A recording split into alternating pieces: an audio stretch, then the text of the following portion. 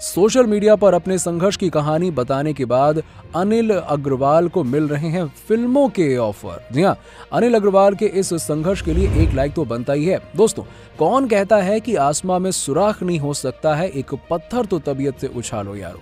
वेदांता समूह के अनिल अग्रवाल ने इस कहावत को सही साबित कर दिया भले ही आज उन्हें हर कोई जानता हो, लेकिन हकीकत यह है कि अपने सपनों को पूरा करने जब वो बिहार से सपनों के शहर मुंबई आए थे तो उनका हाथ बिल्कुल खाली था। अड़सठ वर्षीय अग्रवाल की किस्मत खुद लिखने की कहानी जानने के बाद अब उनको किताब लिखने से लेकर उनकी बायोग्राफी बनाने के लिए बड़े बड़े निर्माताओं की ओर से ऑफ़र मिल रहे हैं।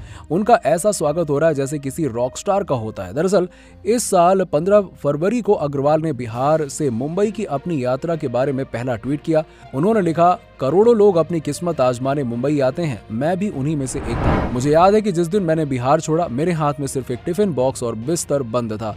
इसके साथ आँखों में सपने, मैं विक्टोरिया टर्मिनस स्टेशन पहुँचा और पहली बार कई चीज़ों को देखा। इसके बाद उन्होंने अपनी लंदन यात्रा के बारे में बताया, जहाँ उन्होंने एक मल्टीनेशनल नेचुरल रिसोर्स कंपनी को लीड किया।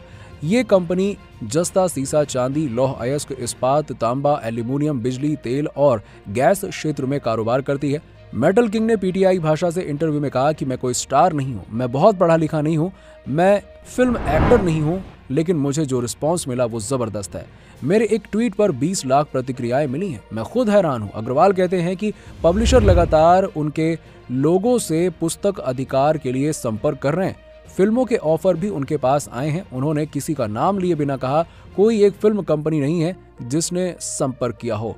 सभी बड़े निर्माताओं ने संपर्क किया। वो मुझे बायोपिक के लिए पैसे देना चाहते हैं। मैं अपने सहयोगियों और बेटी प्रिया से बात करने के बाद इस पर फैसला करूँगा। अपने ट्वीट की श्रृंखला में अग्रवाल ने अपनी शुरुआती यात्रा, अपने मुश्किल वर्ष, अपने संघर्ष और डिप्रेशन का ज़िक्र किया। तो यदि आप हमारे चैनल को अप्रिशिएट करना चाहते हैं, ऐसे ही वीडियोस के लिए तो हमें सुपर थैंक्स के द्वारा गिफ्ट भेज सकते हैं और अपना प्यार हम तक पहुँचा सकते हैं।